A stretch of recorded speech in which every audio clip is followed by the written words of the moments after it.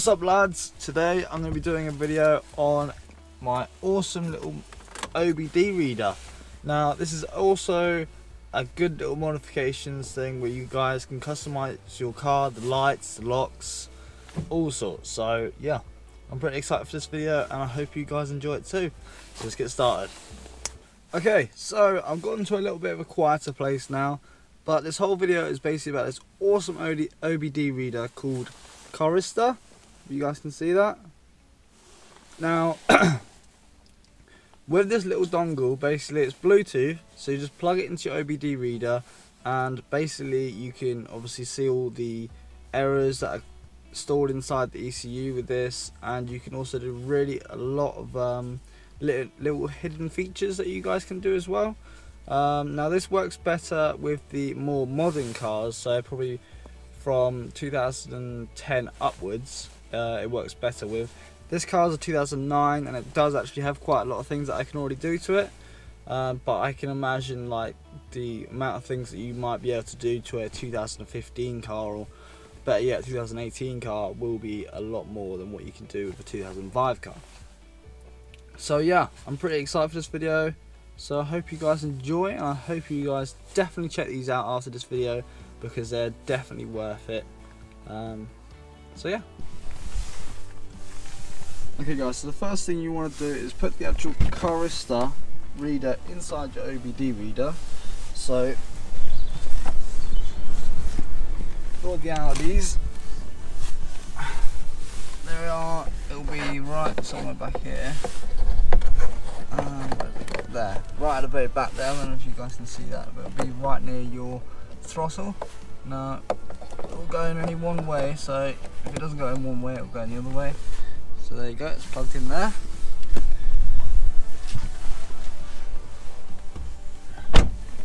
Okay, so now I'll just quickly change the camera to my phone so you guys can see exactly what this thing can do.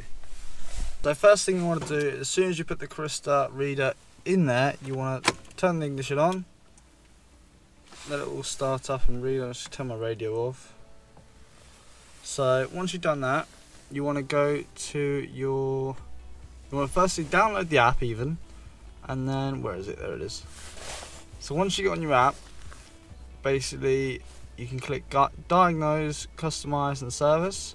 So I'll give you guys a little example. When you click diagnose it'll be like a little loading screen and then once it loads it will basically come up with all the errors that your car has which is really cool really because I hope you guys can see that properly.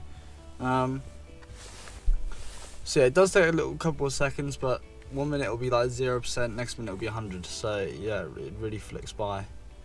So you see, there we go.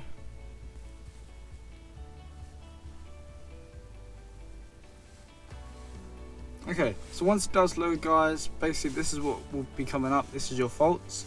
Now, these are my two little faults that I can't really get off. I think it's something to do with the um, CAT system, but it doesn't bother me anyway. So um, yeah, this is your faults, and then the best thing about this is the customization. So when this comes up guys, it's so cool. You can literally change so many things with this. You can change the brightness of your headlights. Um, you can change your mirrors going down when you reverse. You can change it beeping when you unlock the car. It, it, you can honestly do a lot of things with this. Um, but this does come at a decent price. So the Carista mod, uh, OBD reader itself, I can't 100% remember how much it was. I will definitely put it in the, uh, on the screen about here if I can. Um, of how much it is, and I'll definitely put a link in the description of this. Um, but when you get the app, it is £50 a year, I think, or is it £40 a year? Um, but when you get it, obviously it lasts a year, and you can do when you do all these little modifications to your car, it will stay on the car whether you have the app or not. So yeah, it's really cool. Uh, here we go.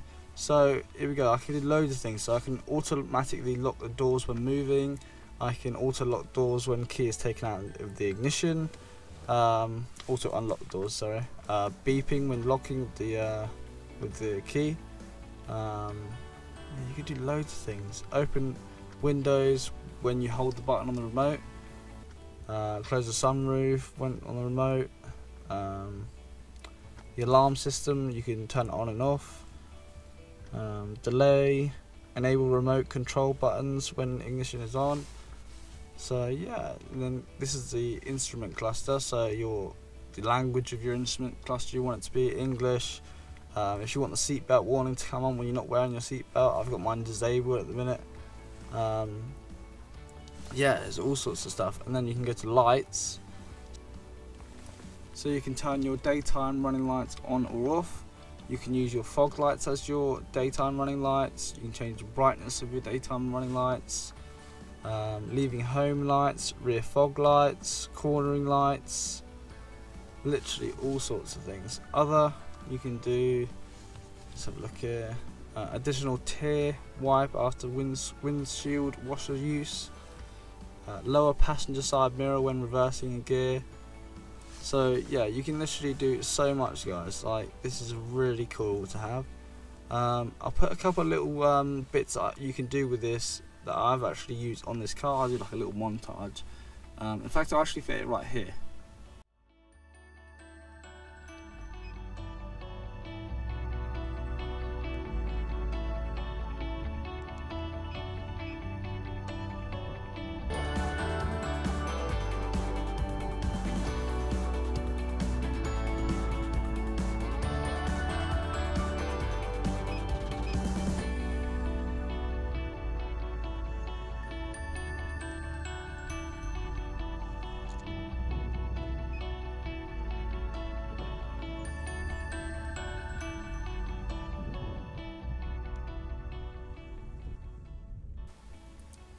So yeah if you guys have seen that like you can everything that I've done in that little video is all done by this.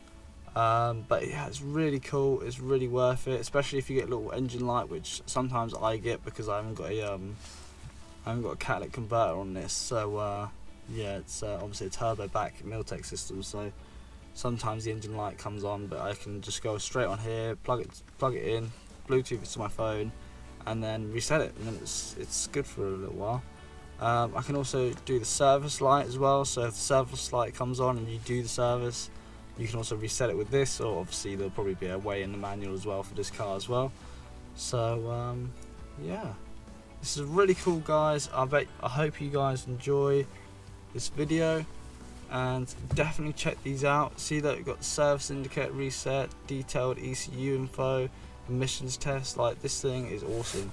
So yeah guys, definitely check this out it's definitely worth the money. Like the amount of things that you can do is cool little additional things which basically make the bigger difference. So uh, yeah I hope you guys enjoy this video. Definitely stay tuned and make sure to subscribe and comment down below what you guys want to see next. So uh, yeah I'll see you guys in the next video. Peace